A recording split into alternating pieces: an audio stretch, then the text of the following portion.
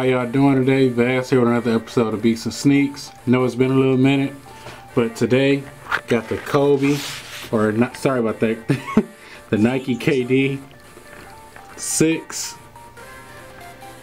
right here. As you can see, retail price 130.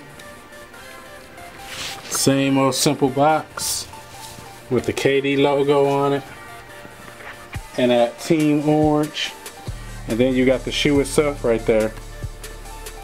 As you can see it's the Easter joint. They get straight to the point.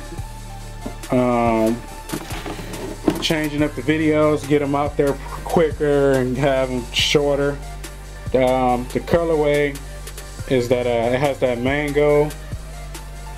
Um, it has an atomic green.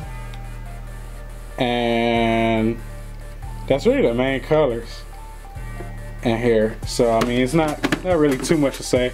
I mean you guys can see it's basically a regular Boston Celtic green with more of a lime type of green on the tongue. And then along the sole it's a little bit more darker than the lime green look on the tongue. And then the rest of the shoe has the black spots in it with the bunny rabbits. And um, then you have that team orange. So I mean self-explanatory. If you can't see the bunny wraps I'm talking about that's right there. See it jumping? So let's get straight to the shoe. On the front you got Seat Pleasant's finest as usual. Got those bunny rabbits all over the place. Got the Nike swoosh right there in orange as you can see if you guys haven't seen on foot on these, you can check out DJ Delz's video. People always ask me to do on foots, but I'm like, just about every shoe I review has an on foot. And that's, I mean, all you gotta do is go look at those videos. I try to get the content out as quick as possible. If I could do it on foot, then I do it. Other than that, I'm not investing any more extra unnecessary time. If it's already out there on YouTube, I just try to give you guys a close-up look at the shoe in HD so that you can see all the detailing and get my opinion. And in my opinion, if you're someone who likes to collect shoes, this is a good shoe. But if you want to just rock a shoe all day, every day, and you just want a green shoe, I wouldn't definitely, I definitely wouldn't pick up this one for that because all the, you know, it's like a love-hate shoe.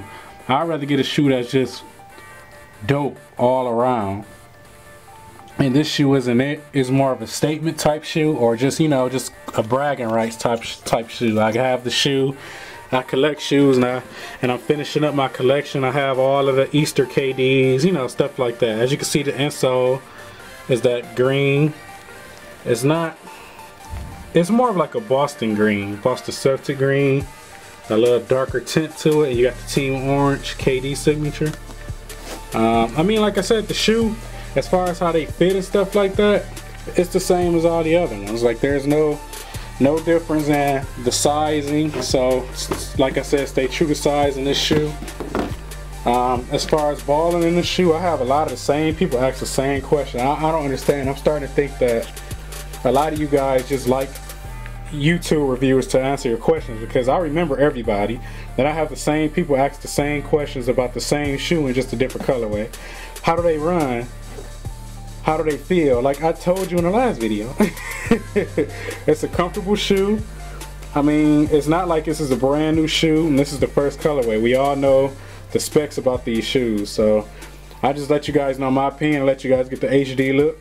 And that's that's really the purpose of this channel. Um, on a scale of 1 to 10, I rate the shoe an eight and a half solely because it's one of those shoes that's dope right now but only time will tell. Like it, it it can either grow on you or grow off you. And I'm thinking that this shoe will probably grow off of me.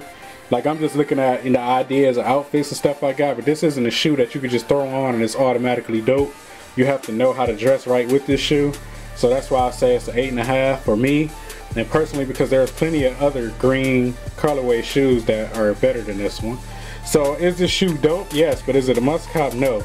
A lot of people always say, oh, I watch your videos, you never, it seems like you never like any of the shoes, which is not true.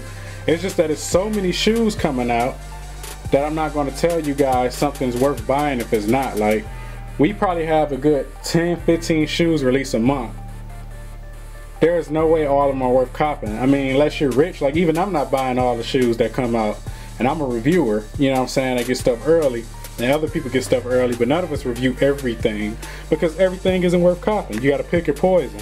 And to me, this is a statement shoe. I picked it up because it's something different that I don't have. But if I was somebody who didn't have many shoes, I definitely wouldn't pick this one up.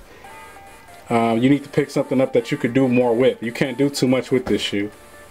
So with that being said, I hope y'all enjoyed the review. That's my take on it. They release um, on the 18th and they're going to retail for 160 I believe or 130 I mean I think it's 130 actually. Yeah 130 I told you guys that already. But they come out on the 18th and they're going to be for 130 like I said pick your poison on these. I have the Kobe review up tonight as well so make sure y'all check that out. Peace